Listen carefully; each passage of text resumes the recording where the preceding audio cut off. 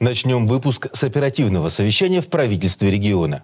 Губернатор Мурманской области провел его в дистанционном формате из Москвы. Перед тем, как вылететь в столицу, где на этой неделе у него запланированы рабочие встречи, Андрей Чибис посетил отдаленные населенные пункты на юге Кольского полуострова и на месте оценил промежуточные результаты выполнения стратегического плана «На севере жить». Одним из пунктов в маршруте рабочей поездки главы региона по югу Заполярья стала Умба. В поморском поселении завершено обновление поликлиники. Продолжается ремонт дорог и подъездов в многоквартирных домах. Идет установка детских игровых комплексов «Открытый сопки спорт». Решен вопрос также транспортной доступности. На межмуниципальном маршруте Кандалакша-Умба теперь курсирует новый автобус.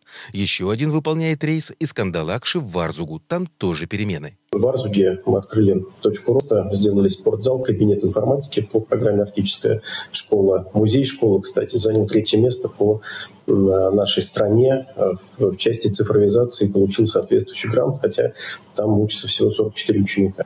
Э, и в Кузьмине открываем в этом году фельдшерско-акушерский пункт. Побывал глава региона и в селе Краснощелье Лавозерского района.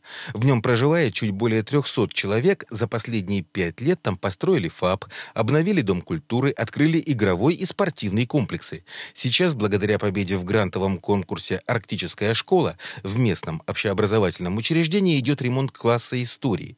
Появится уже в этом году в Краснощелье и образовательное пространство «Точка роста».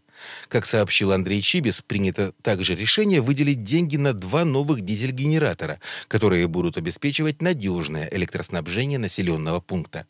На совещании Андрей Чибис сообщил и о том, что по стратегическому плану «На севере жить» сделано в Алакурте, Зеленоборском, Зареченске и Кандалакше.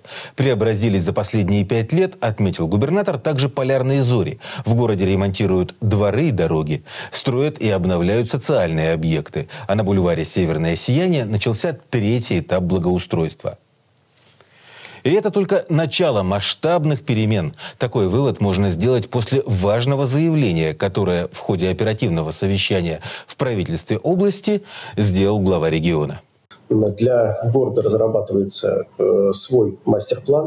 В рамках вот этого мастер-плана мы на ближайшие пять лет определим четкие приоритеты, куда будем инвестировать и дальше для того, чтобы жизнь становилась э, в городе еще лучше.